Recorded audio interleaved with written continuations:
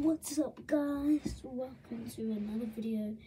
In this video, I am going to be showing you how to connect a PlayStation 4 controller to any Apple device. So got my dad's Apple phone here. It's nice and old. okay, so all you gotta do is just come back here so you can see me. So you get your controller and you grab your phone. Put your phone down, grab the controller. You hold the PlayStation button at the same time as the share button. Hold it for about five seconds, unless let go when as soon as it starts blinking up around the top here and over here.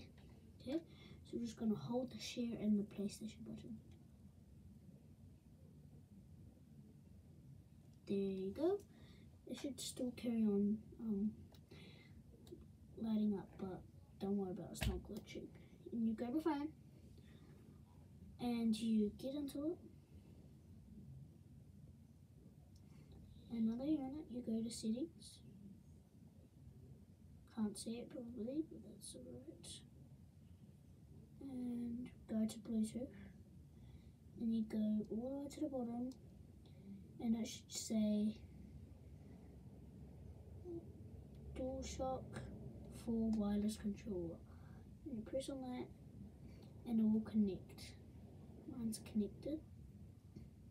Show proof. I'll play again just to show you that it's working. So, um, sorry, I'm just trying to find the Roblox. I'm going to play Roblox, a game of Roblox, okay?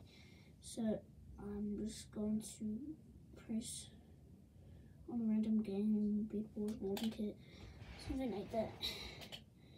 And now that I'm in the game, I am moving without touching the, the thing because I am obviously using this. Pretty cool, isn't it? So that is the easy method. And yeah, hope you guys enjoy. Just have fun playing your games that you want to play. Always wanted to play on controller because you'll absolutely demolish everybody on controller. But it's absolutely terrible on mobile. So just connect there and use this method. It's easy. Oh, and it will make a, a lot. Yeah, so I did not make this. I just followed it from YouTube and I'm just recopying it to show you guys. So thank you for those 60, 70 kind of views on the Subway Surfers. And yeah, like and subscribe. Turn on the notification bell so you can, so you know when I post another awesome video. Bye!